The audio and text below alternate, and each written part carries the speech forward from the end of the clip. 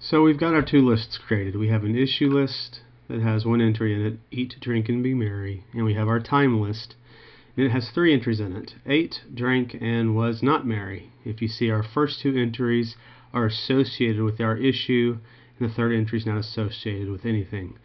So what we want to do now is uh, set up the default display page for issue so that when we view it, it also shows the time entries that are associated with this issue.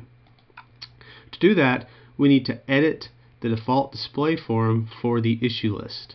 So you go to your issue list, click on the List tab under List Tools, and then you select the default display form. And this brings up the default display form in an edit view.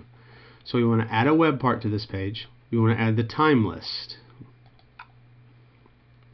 You can see it adds our time list and we want to drag and drop that and put it below our issue list. What we now need to do is set up a web part connection between the issue display form and the time list so the time list only displays those time entries associated with the issue. To do that, we're going to set up a web part connection and provide row to the time list. So we are telling it that we want to get the filter values from because we want to filter it and we want to match the ID from the issue list to the issue ID of the time list.